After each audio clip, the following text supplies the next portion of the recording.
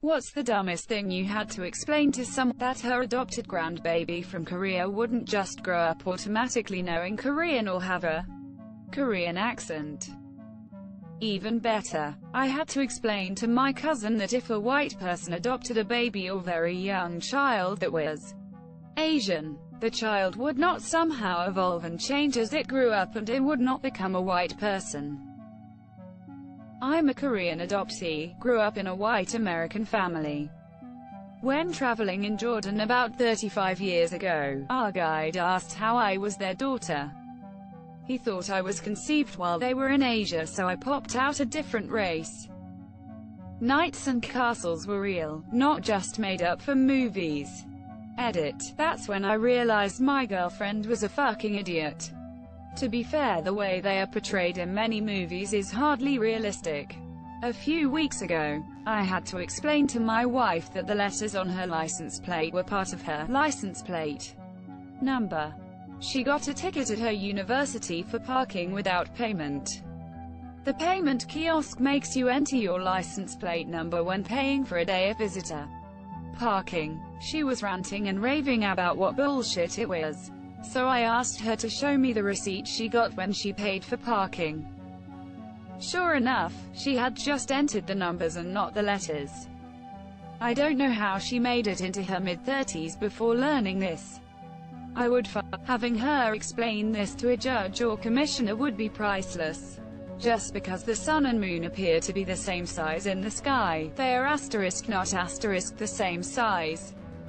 This cow is very small, Dougal, but those cows are far away.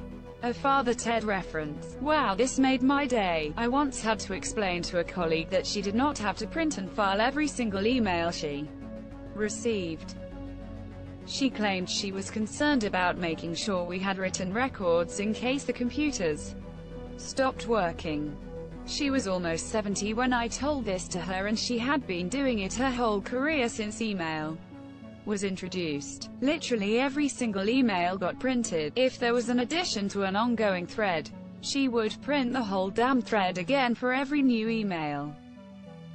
I'm pretty sure this woman is responsible for at least one entire forest of tree loss.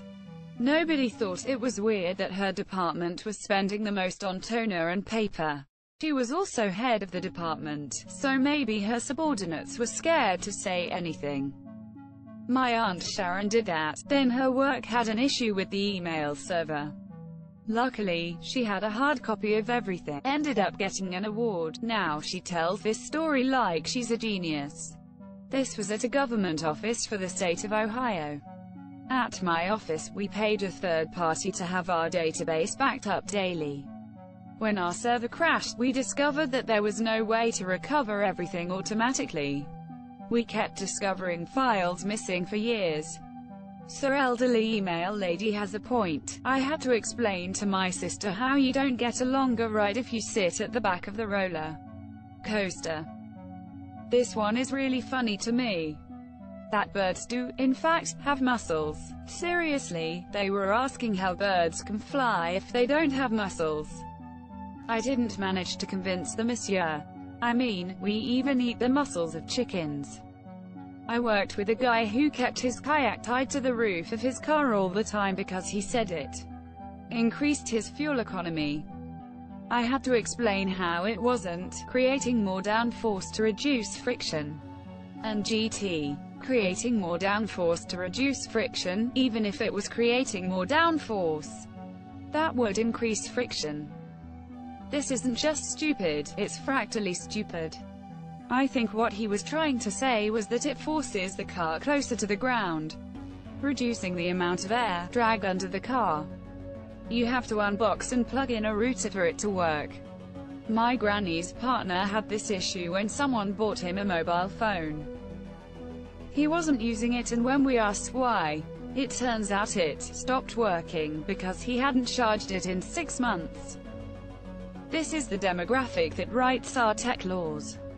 That you need to use lube as lube and not any other mildly slippery liquid. She was happy to report that her constant UTIs cleared up. My wife and I are ragu devotees. Red sauce produces white sauce. Ever try Alfredo for white sauce camouflage? I had to explain to my then 26-year-old sister that my infant niece was not in fact allergic to corn because it showed up in her poop. She didn't believe me.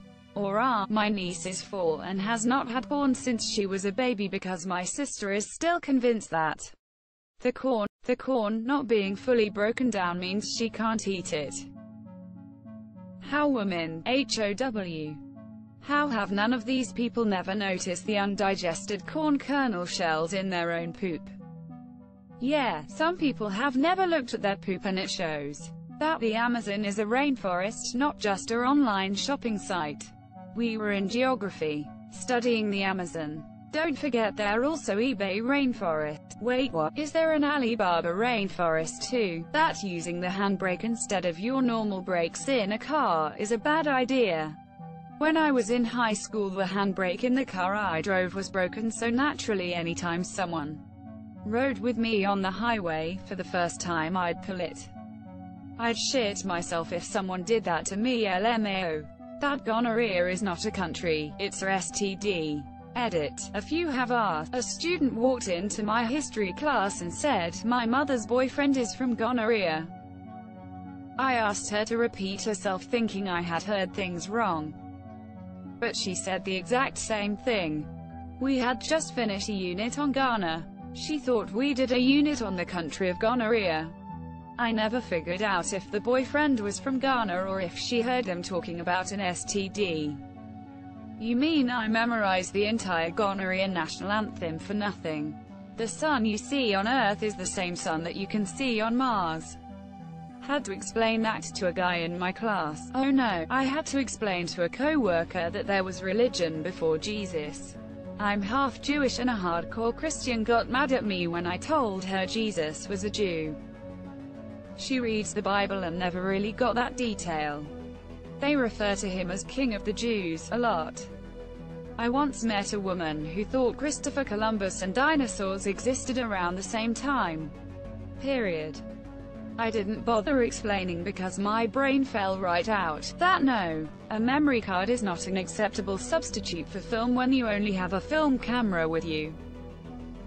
Yeah, but how can I get those sweet memory card filters, that periods are not able to be controlled like the urge to pee?